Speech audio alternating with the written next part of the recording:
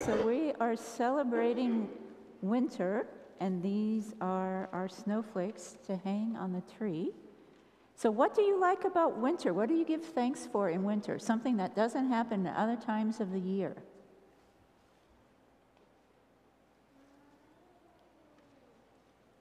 Well, what's something you. Snow cones? You have snow, oh, snow cones.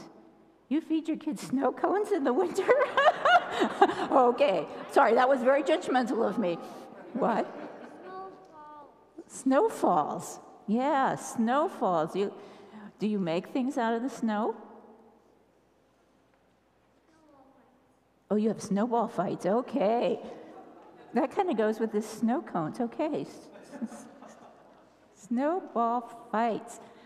Those are fun, just so they don't have a lot of ice in them, right? What else? Okay. Another one. My husband and, and uh, kids always made snow trolls.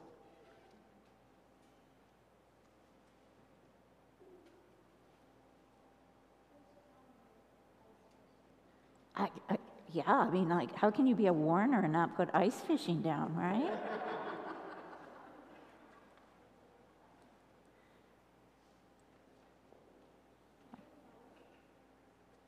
Is there something you eat in the, that your parents make in the winter that you really like?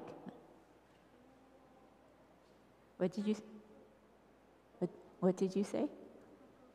Hot cocoa. Oh, yeah. See, yeah, you don't have that in the middle of the summer, right? Hot cocoa. And what did you say, Annika? Chicken noodle hot dish. Okay.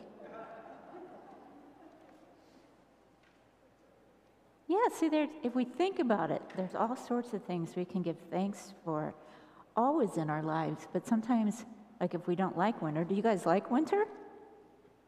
You like winter? So if you don't like winter, then it's harder if there's something going on that you don't like. But then you have a community of people that can help you, help us discover.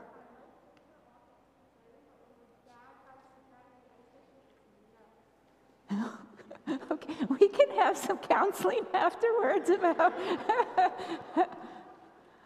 well, but it gives you another thing to experience in life, right? To experience ice fishing, which is something a lot of people have no idea has ever done, right? And I'll tell you, just the only time I've been out in an ice house, I was invited by a monk to drink tea and read poetry. So you could take tea and read poetry to your dad. And, the, and, the, and, then, and then your dad will never invite you back, so that will work. All right. So we give thanks to God for helping us see the world differently and to give us one another to help us see things to be grateful for. Amen.